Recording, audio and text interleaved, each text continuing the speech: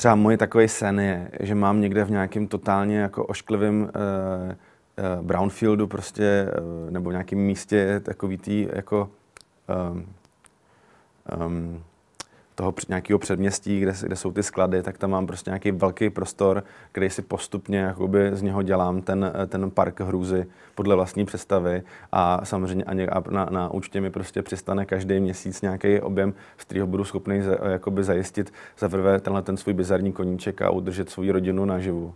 A to by bylo, to by bylo samozřejmě skvělé.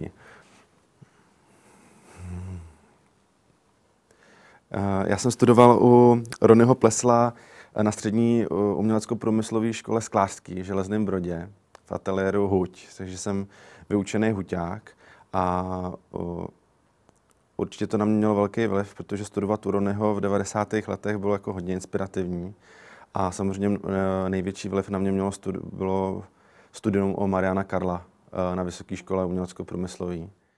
Já myslím, že třeba tím, že si projde člověk nějakým řemeslem, tak, tak já jsem třeba pochopil své mantinely a viděl, pochopil jsem, že třeba jako řemeslník ze mě jako nikdy dobrý nebude. Mě říkali na, na té hutě, mi říkali Pierre Richard, protože jsem byl pravděpodobně nejhorší huťák jako na západ od Dněpru. Mě to, hrozně, mě to hrozně baví. Mě to baví právě proto, že nejsem šikovnej. To znamená, že já se musím uh, jako strašně překonávat. Navíc jsem hrozně línej. Takže uh, když uh, já, uh, mě třeba by obrazy by mě neuspokojovaly, protože bych v tom neviděl takový velký challenge. Jako zatímco, když něco postavíte do prostoru a už musíte to nějak technicky tu věc řešit a musíte se u toho trochu spotit, tak to pro mě jako pro línýho nešikovného člověka je mnohem větší výzva. Mm, no, vetřelci a volavky eh, vznikly, aspoň podle legendy, takže jsem seděl v hospodě se svým bráchou a nadával jsem na nějakou jako takovou tu zběsilou revitalizaci parku Folimanka, který, který proběhly za Bémovy éry. Tam vlastně došlo k tomu, že za nějakých 25 eh, milionů korun se tam udělalo aspoň viditelně 25 eh, metrů chodníku, vysázelo se pár stromů a odstranilo se, odstranili se čtyři sochy. Takže vlastně mě tenkrát jako štvalo to, že, se, že jsou peníze, ale přitom jako naprosto netransparentně jako Eh, ve skutečnosti na to nemusím být Sherlock Holmes, byl jasný, že za to někdo postavil chatu na Orlíku, prostě, že to, ne, že to vůbec není v zájmu veřejnosti takovýhle revitalizace parku, ale, za, ale děsilo mě to, že jak, jakým rychlým způsobem jsou odstraňované sochy, to jsem si samozřejmě všimnul už jako dřív, protože mě zajímal veřejný prostor, tak jsem jezdil, uh, taky abych se pokusil zhubnout, tak jsem jezdil na kole po sídlištích a, a do nějakým způsobem fotodokumentoval sochy.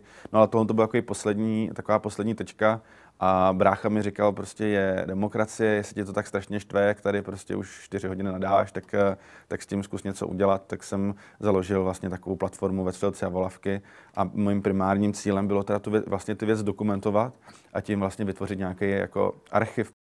Vznikl z toho dokument, vlastně několik dokumentů pro českou televizi, z, eh, z, eh, vznikl z toho pořád teďka pro Radio Wave, který se jmenuje Eh, eh, Predátoři a plameňáci, kde se vlastně snažím eh, kom, mm, komentovat vlastně současné aktivity ve veřejném prostoru. Vznikl z toho, vznikl z toho publikace ve Třelci a Volavky, která se snaží ty věci mapovat a taky je kategorizovat nebo vytváří takovej, takovou taxonomii před, darwinistickou, to znamená podle toho, jak ta věc vypadá, tak tak je zařazená v tom, v tom systému. Tak jsem, když to bylo kulatý, tak jsem to dodal prostě do oblasti vajíček nebo vetřelců a když to bylo prostě uh, uh, vertikální a na, na zakončený nějakým kalichem, tak jsem to prostě dal do oblasti trifidu. A tímhle tím způsobem jsem si vytvořil postupně takovou, takovou, jako stru, takovou uh, pseudovědeckou strukturu, jak, tu věci, jak ty věci uh, um, dávat do nějakých rodin. A myslím, co, co myslím, že ten vetřelce a volavky pomohly udělat, je to, že se, že se, že se díky tomu, jak se společnost vyvíjí, se podařilo zaměřit uh, tu odbornou veřejnost nebo tu, tu, tu část té společnosti, která se uh, zajímá o veřejný, o veřejný prostor, která je stále širší, tak, uh, tak si podařilo prostě spoustu věcí zachránit. No. A, obecně se mění i, teda i, ten, i ten přístup těch, těch městských částí, což je jako skvělý. Takže třeba, když já dělám komentované prohlídky venku, každý měsíc vlastně v rámci Galerie hlavního města Prahy dvakrát jdeme někam po sídliště nebo po centru města a chodí mi tam strašně nesourodá skupinka lidí. Všichni potom skončíme v hospodě a je to hrozně příjemný, protože tam chodí hipstři, studenti sociologie, eh, matky s dětma, důchodci, hlavně důchodkyně, protože uh, dámy prostě ve věku, kdy, kdy se můžou věnovat sami sobě, tak jsou velice kulturně aktivní. To, to, je, to, je, to je silný jádro. To jsou jako to je silný jádro toho, těchto těch, těch uskupení a tak pak se potom všichni sejdou, architekti samozřejmě a, a, a výtvarníci, ale především jsou tam hlavně lidi, kteří nejsou, který nejsou od výtvarného umění a pak se všichni sejdou v hospodě a diskutují to a to je pro mě jako hrozně příjemný, uh, příjemný pocit, protože to jakoby uh, se člověk protrhává z té své uzavřené bubliny, té výtvarné komunity, kde trošku může snadno propadnout jako skepsy, protože má pocit, že to nikoho nezajímá, což je do jisté míry pravda. A, a je v tom jaksi jako sám. Že?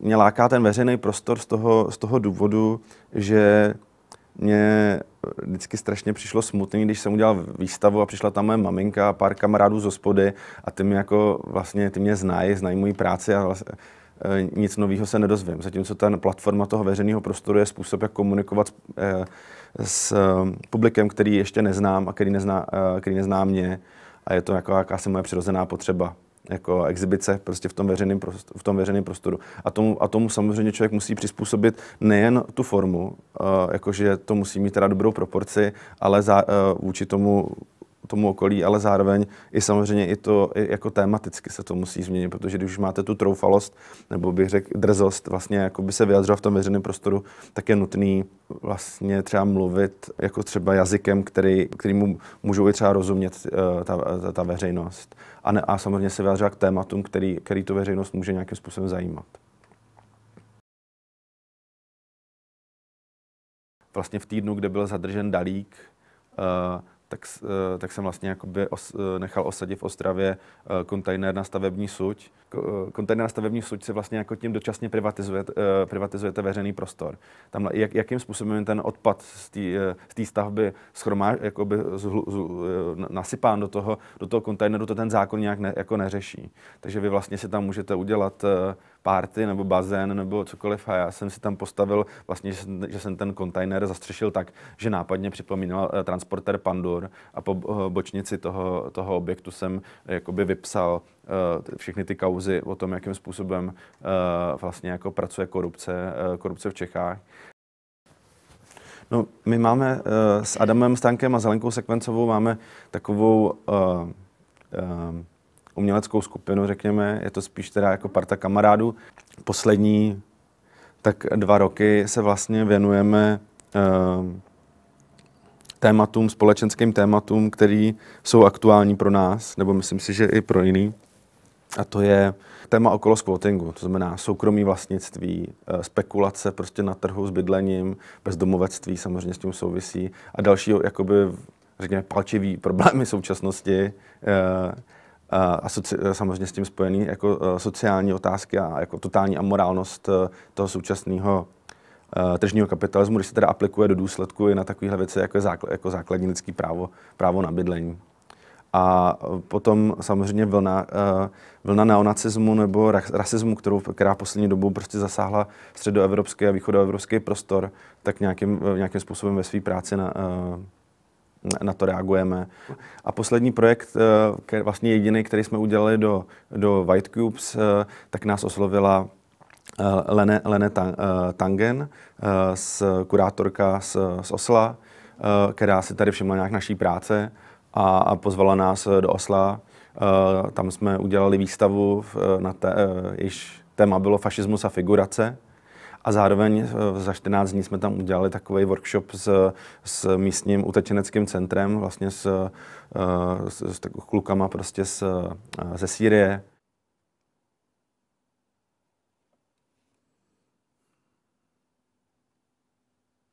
Před měsícem skončila výstava Jižní město a oslovili mě tam z, z té galerie Chodovská tvrz, abych udělal vlastně architekturu té výstavy s čím, že jsem vlastně pracoval s nějakým artefaktem, který mi jako evokuje tu dobu toho založení.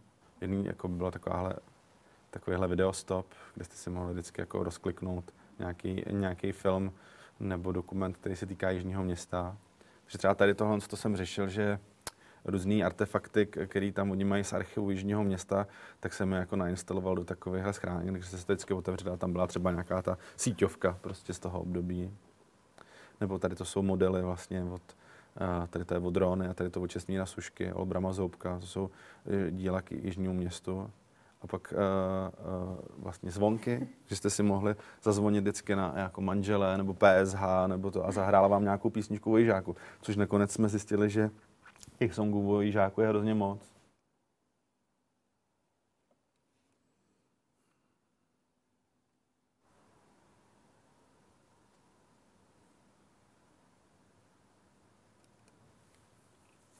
Tady to jsem vlastně vytvořil teďka o prázdninách pro festival Boskovice a mě vlastně oslovil k tomu, abych nějakým způsobem jako reagoval na tu, na tu konkrétní místní genu, genu loci.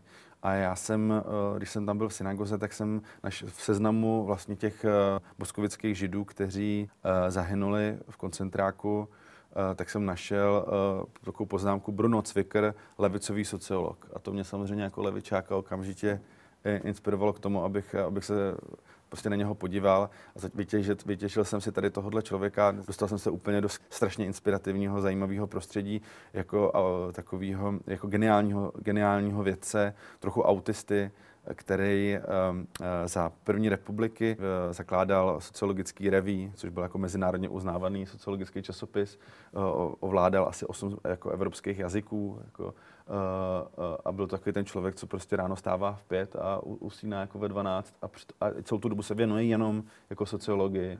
A já jsem se pokusil nějakým způsobem zpracovávat tu jeho vědeckou činnost uh, o té nezaměstnanosti, že jsem vlastně vytvořil takovou, takovou krajinu k šicíma strojema, protože Boskovicko vyrábí minervy už v těch 30. letech a jeho velký část toho průzkumu se, se opírá právě o ty nezaměstnané textilní dělnice a zároveň o, nezaměstnaný zemědělský dělníky. Takže to zase symbolizují ty kosy. A, a vlastně je to taková krajina jako opuštěných pracov, e, na, jako výrobních prostředků a zároveň e, obratem jakoby v pohledu se to stává jakousi válečnou krajinou, protože ty kosy tím, že jsou spárované, tak působí jako bombardéry a ty, a ty seřazený šicí stroje, které jsou stylizované jako do těch základních prvků, tak působí jako nějaký válečný stroj nebo jako to, takový to utahování na děla jako vzadu a celý to pozorují ze zadu prostě jako oči toho analytického věce, což jsou dva, uh, což jsou dva kajaky. Jakože to je podle mě nějaký úkol uh, jako v současnosti pro výtvarníka, že by měl na, tyhle, že by měl na ty, třeba tyhle ty kontexty nějakým způsobem odkrývat, protože se nacházíme v době, já nechci být jako nechci strašit, ale nacházíme se v době, kdy se, kdy se ta historie může, je teda ne jako tragédie, ale jako fraška opakovat znova. S tím, že fraška může být taky nechutně brutální.